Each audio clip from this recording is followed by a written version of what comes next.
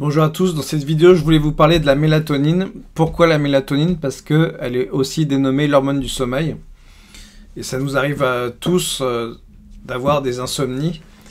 Et donc euh, voilà, moi je sais que je prends de la mélatonine euh, quand j'ai des insomnies et ça me permet le lendemain d'être efficace dans mon travail, de ne pas ressentir la fatigue nerveuse.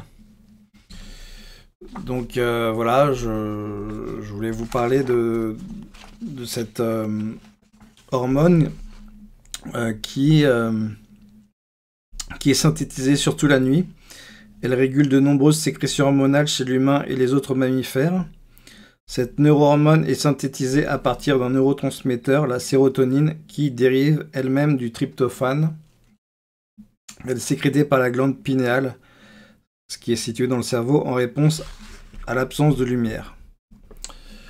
La mélatonine semble avoir de multiples autres euh, fonctions, euh, autres qu'hormonales, en particulier comme antioxydant. Elle jouerait un rôle particulier dans la protection de l'ADN nucléaire et dans l'ADN mitochondrial. Elle semble aussi jouer un rôle dans le système immunitaire. Toutefois, l'ANSES recommande aux personnes en bonne santé de limiter sa consommation sous forme de compléments alimentaires et d'en informer son médecin. Donc euh, en temps normal, la mélatonine est sécrétée la nuit uniquement, avec un pic de sécrétion à 5 heures du matin chez l'humain et en moyenne, car sa production est inhibée par la lumière.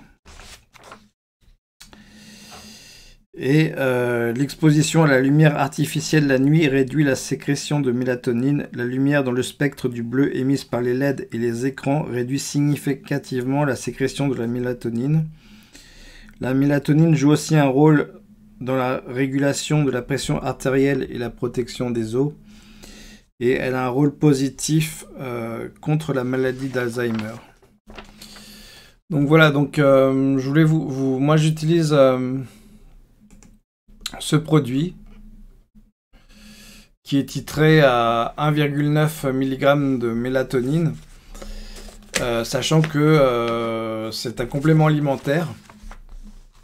Et donc, euh, voilà, la norme française veut que au-dessus au de 2 mg de, titrage de mélatonine, ce soit un médicament en fait. Donc là, on est juste en dessous du seuil. Euh, je vais quand même vous lire les informations de sécurité. Il ne faut pas dépasser la, dose journalière recommandée.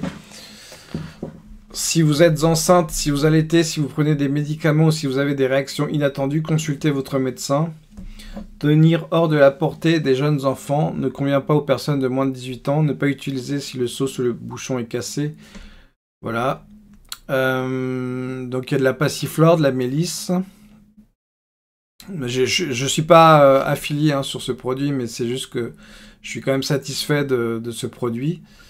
Euh, encore une fois, ça me permet, de, en cas d'insomnie, euh, d'ailleurs, souvent mes insomnies sont inexplicables par la raison.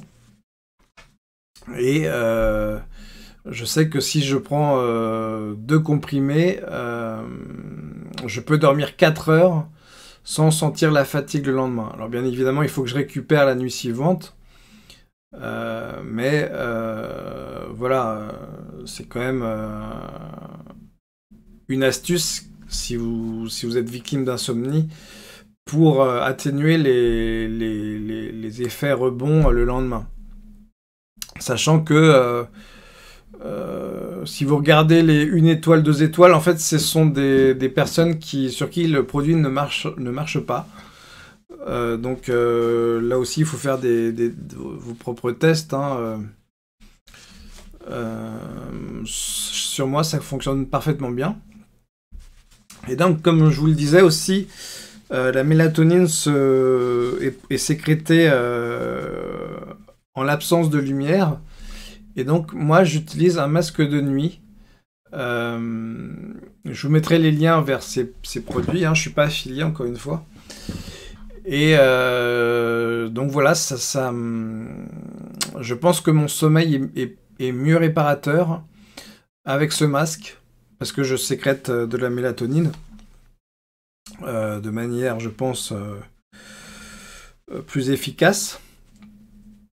Et voilà, bah, je voulais vous, parler un peu de, ces petites astuces. En cas d'insomnie, sachant que là je suis en train de plomber mon algorithme, parce que quand on a une chaîne YouTube, il vaut mieux la nicher sur un seul sujet.